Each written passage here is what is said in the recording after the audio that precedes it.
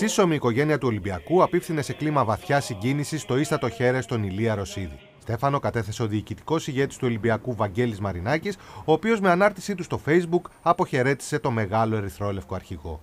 Ένα μεγάλο κομμάτι της λέξης θρύλος είναι δικό σου. Η ιστορία σε υποδέχεται δαφνοστεφανωμένο και αιώνιο νικητή.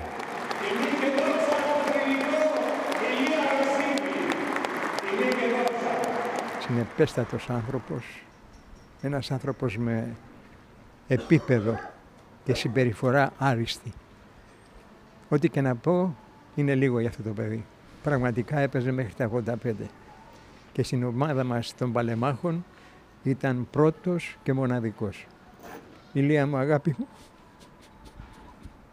φέρετρο του θρηλυκού ποδοσφαιριστή, τυλιγμένο με την ερυθρόλευκη σημαία, συνόδεψαν στην τελευταία κατοικία του εκπρόσωποι πολλών γενναιών Ολυμπιακών που παρακολούθησαν την νεκρόσιμη ακολουθία, η οποία εψάλει στον ιερό ναό της μεταμόρφωσης του Σωτήρων στο Μοσχάτο. Άγιος, όπως σας το λέω, αθλητής γεννημένος, ποτέ δεν ξενύχτησε, ποτέ δεν είχε τέτοια λατρεία για τον Ολυμπιακό ώστε δεν έχω ξαναδεί άλλον άνθρωπο σαν τον Ηλία το Ρωσίδη να αγαπάει τόσο πολύ τον Ολυμπιακό. Ήταν ένας άνθρωπος παθιασμένος με τον Ολυμπιακό, άρρωστος με τον Ολυμπιακό και ήθελε να πεθάνει μέσα στο γήπεδο. Πλήθος βετεράνων του Ολυμπιακού, άνθρωποι που έπαιξαν μαζί με τον Ηλία Ρωσίδη ή μοιήθηκαν από αυτόν στα μυστικά του ποδοσφαίρου, ήταν εκεί. Παρόντα ήταν επίσης στελέχη της ΠαΕ, της ΚαΕ, του Ερασιτέχνη και φυσικά του Δήμου Πειραιά.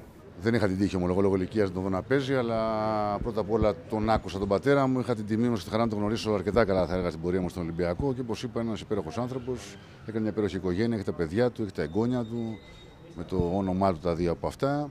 Θα το θυμόμαστε για πάντα. Το τελευταίο αντίο στον Ηλία Ρωσίδη απίφθηναν και βετεράνοι άλλων ομάδων, ένδειξη αυτή του σεβασμού που έτρεφε όλο το ελληνικό ποδόσφαιρο στο μεγάλο ποδοσφαιριστή. Ένας καθαρός άνθρωπος, καθαρός παίκτης, σύγχρονος ε, αμυντικός παίκτης, ε, σήμερα ήρθαμε εδώ να τον αποχαιρετήσουμε. Το παρόν έδωσαν τέλος εκπρόσωποι του πολιτικού κόσμου και πλήθος φιλάθλων.